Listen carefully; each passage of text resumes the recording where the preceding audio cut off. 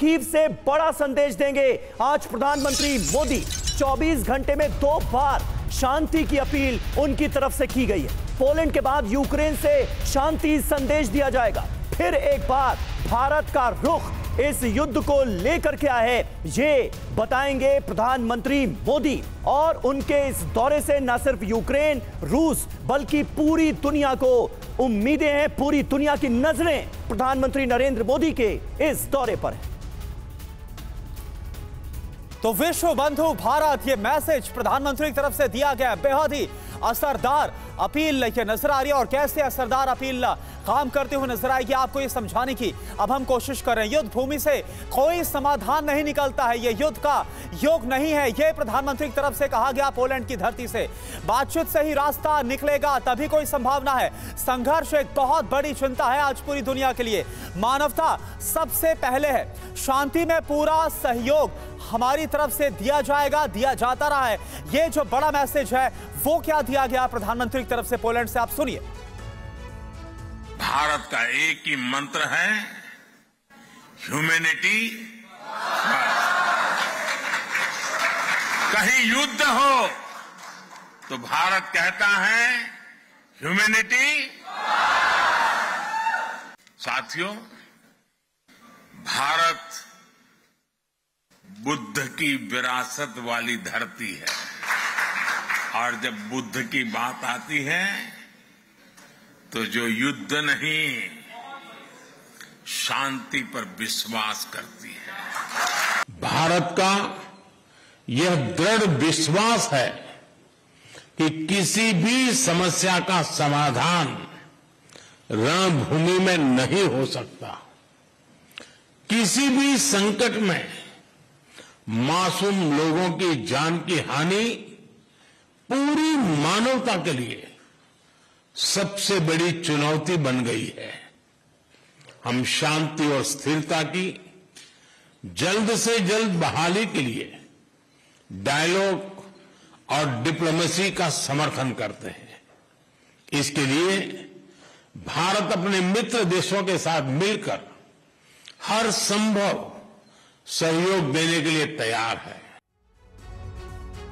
और देखिए, इस वक्त की सबसे बड़ी खबर आपको बता दें, प्रधानमंत्री नरेंद्र मोदी यूक्रेन की राजधानी की पहुँच गए हैं। थोड़ी देर में यूक्रेन के राष्ट्रपति जेलेंस्की से प्रधानमंत्री नरेंद्र मोदी की मुलाकात होगी। आठ से दस घंटे प्रधानमंत्री नरेंद्र मोदी यहाँ पर रहने वाले हैं। पीएम मोदी यूक्रेन की राजधानी कीव पहुँच गए हैं और थोड़ी देर में ही जेलेंस्की के साथ उनकी द्विपक्षीय वार्ता होगी। सीधे आपको कीव लिए चलते हैं। क्या अपडेट है? विपिन, जरा बताइए। प्रधानमंत्री नरेंद्र मोदी पहुँच चुके हैं यूक्रेन की राजधानी कीव।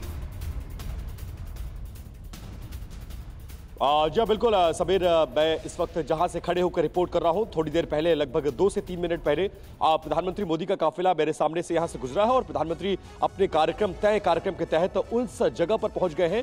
सुरक्षा कानूनों से हम उस जगह का नाम आपको रिवील नहीं कर सकते लेकिन उस जगह पर पहुँच गए हैं जहाँ पर उन्हें आना था। यहाँ पर आ, कुछ इंडियन डायस्पोरा और कुछ भारतीयों से उनकी मुलाकात है और उसके बाद आगे के कार्यक्रम के लिए वो रवाना हो जाएँगे। आपको बता दें कि यूक्रेन की इस यात्रा पर पूरी दुनिया की नज़र है और आज जब वो यूक्रेन के राष्ट्रपति जेलेस्की से मुलाकात करेंगे तो जेलेस्की से ये उनकी चौथी मुलाकात होगी। इससे पहले ग्लास्को जापान और इसके साथ साथ इटली में उनकी मुलाकात हो चुकी है, लेकिन आज की मुलाकात बहुत ज़्यादा महत्वपूर्ण होने वाले हैं और अब से लेकर अगले आठ से दस घंटे पूरी दुनिया की निगाह इस वक्त यूक्रेन पर होगी क्योंकि यूक्रेन में भारतीय प्रधानमंत्री मौजूद है। छह हफ़्ते पहले रशिया का दौरा करके आ चुके हैं। वहाँ भी शांति की बात उन्होंने दोहराया था पोलैंड में भी शांति की बात को दोहराया और यूक्रेन में भी संभवतः यही बात करेंगे और एक रास्ता निकालने की कोशिश करेंगे। जी। जी और देखिए शिव कुमार सिंगल जी मेरा सवाल आपसे है। सवाल यह है कि देखिए सभी की नज़र इस बात को लेकर है कि आज की इस मुलाकात के दौरान कोई बड़ा समाधान इस युद्ध को लेकर निकल सकता है। लेकिन साथ ही साथ आपसे यह भी मैं समझना चाहूँगा कि क्या युद्ध के साथ साथ जो भारत और यूक्रेन के डिप्लोमेटिक टाइज हैं जो रिश्ते हैं इसको लेकर भी कुछ नया और कुछ बड़ा होते हुए हम देख सकते हैं क्या? आ, आप बिल्कुल सही कह रहे हैं कि आप जैसा भारत की निगाह अब सेंट्रल यूरोप पर है क्योंकि हमने इसको थोड़ा निगलेक्ट किया था। और यूक्रेन के साथ हमारे संबंध बहुत अच्छे हैं कॉमर्शियल भी और डिप्लोमेटिक भी। लेकिन और यूक्रेन ने काफ़ी चीज़ों की हमसे रिक्वेस्ट की हुई है इंफ्रास्ट्रक्चर के लिए मदद की। तो मेरा अपना विचार है कि कुछ एग्रीमेंट उस क्षेत्र में ज़रूर होंगे भी एक इंफ्रास्ट्रक्चर से रिलेटेड डिजिटल एरिया में। मेरे को लग रहा है कि कुछ ना कुछ अनाउंसमेंट करे जाएँगे बड़े उस पर स्तर पर।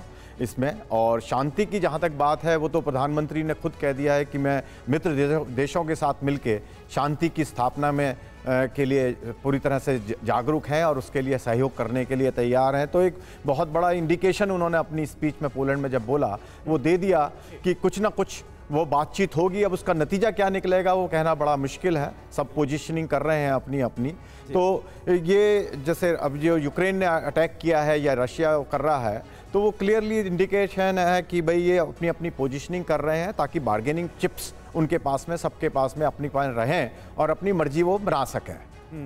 बिल्कुल। बिल्कुल, ये निश्चित तौर पर इंपॉर्टेंट है और पूरी दुनिया की इस वक्त देखिए, भारत पर नज़र है। प्रधानमंत्री मोदी के कीव दौरे से उम्मीदें बहुत बढ़ती नज़र आ रही हैं। पश्चिमी देशों का भी भारत पर भरोसा है और भारत इकलौता ऐसा मुल्क है जिस पर रूस का भी भरोसा है, यूक्रेन का भी भरोसा है और बाकी नेटो मुल्कों का भी। और आज की तारीख में भारत और रूस के संबंध क्या हैं? दशकों पुराने ये प्रगाढ़ रिश्ते जेलेंस्की ये जानते हैं कि भारत की बातों पर भरोसा करता है। रूस ऐसे में प्रधानमंत्री नरेंद्र मोदी के इस दौरे से जेलेंस्की को भी, यूक्रेन को भी बहुत उम्मीदें। तो देखिए, यूक्रेन को आखिर भारत से उम्मीद क्यों है? क्यों जेलेंस्की?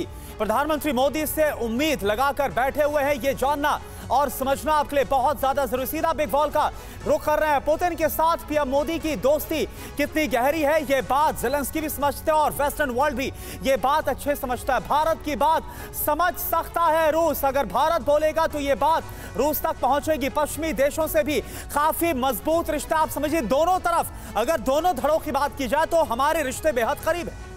जी हाँ, और भारत की विश्व कल्याण की भावना जो है, इसे भी प्रधानमंत्री नरेंद्र मोदी लगातार ज़ाहिर करते रहे हैं। सबसे अच्छा मध्यस्थ हो सकता है, मीडिएटर की भूमिका भारत निभा सकता है। सबसे तेज़ी से उभरती हुई वैश्विक ताकत है, लिहाजा इसकी बात का जो वज़न है, उसके बारे में भी हर कोई जानता है। हमारे साथ इस वक्त प्रोफेसर अमिताभ भी मौजूद हैं। अमिताभ जी आज की दुनिया में ये जो बाइपोलर वर्ल्ड नज़र आ रहा है, हर कोई तो बटा हुआ है, कोई इस धड़े के साथ है, कोई उस धड़े के साथ है। भारत ही एक ऐसा मुल्क है जो विश्व शांति की बात कर रहा है, रूस, यूक्रेन युद्ध से कोई समाधान नहीं निकलेगा, इसकी बात कर रहा है। आज के माहौल में थोड़ा अजीब लग सकता है, लेकिन क्या प्रधानमंत्री नरेंद्र मोदी का ये दौरा रूस, यूक्रेन में शांति समझौते की पहल कर सकता है? देखिए, प्रधानमंत्री का ये दौरा उस अनलिमिटेड एफर्ट्स का एक ज़रिया है या एक तरीका है जो कई डिप्लोमेट्स ने, कई राष्ट्राध्यक्षों ने किया है कि वहाँ शांति हो। भारत अकेला नहीं है जो ये कर रहा है और हमें बहुत ज़्यादा एक्सपेक्टेशन इस विज़िट से इसलिए भी नहीं होना चाहिए कि ये बहुत बुरा दौर है। लेकिन भारत उस नींव का एक पार्ट बन रहा है ऐतिहासिक तौर पर, जब वो इन दोनों से नेगोशिएट करने या कराने की कोशिश कर रहा है। जैसे आपके रिपोर्टर ने बताया, डेढ़ महीने पहले मॉस्को गए थे प्रधानमंत्री मोदी, और पूरी दुनिया में कहा जाने लगा था कि जो उनका जो एम्ब्रेस है पुतिन का, वो मर्डर का एम्ब्रेस है जेलेंस्की ने कहा था। लेकिन भारत को जो अपनी स्ट्रैटेजिक ऑटोनोमी है, जो अपनी स्वायत्तता है, वो दिखाने का ये इससे अच्छा मौका नहीं मिलेगा। और भारत इस समय स्थिति में भी है कि वो ग्लोबल साउथ का एक लीडर के तौर पे है। उसने कई बार इस बात को व्यक्त भी किया है कि शांति होनी चाहिए चाहे वो गजा में हो चाहे वो यूक्रेन में हो। तो इस तरह से एक इस दौरे को उसी तरीके से देखना चाहिए। लेकिन मैं ये भी बता दूँ कई सारे इस वॉर में रेड लाइंस क्रॉस हुई हैं। हम कहते थे युद्ध नहीं होगा। आप तो दर्शकों को ढाई साल से दिखा रहे हैं यूक्रेन युद्ध। कहते थे युद्ध ये रेड लाइन है ये क्रॉस नहीं होगी।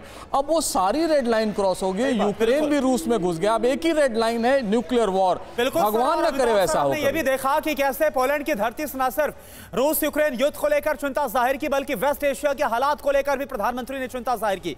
एक और बड़ी खबर का रुख हम कर रहे हैं। पीएम मोदी से यूक्रेन को बहुत बड़ी उम्मीद है। जेलेंस्की के ऑफ़िस की तरफ़ से क्या कहा गया याद देखें मॉस्को पर भारत का प्रभाव है। पीएम मोदी का कीफ आना बहुत ज़्यादा अहम है। तो आप देखिए, यूक्रेन को कितनी ज़्यादा उम्मीद है। जेलेंस्की के ऑफ़िस से खुद यह बयान जारी किया गया कि मॉस्को पर, यानी रूस पर, भारत का अच्छा खासा प्रभाव है।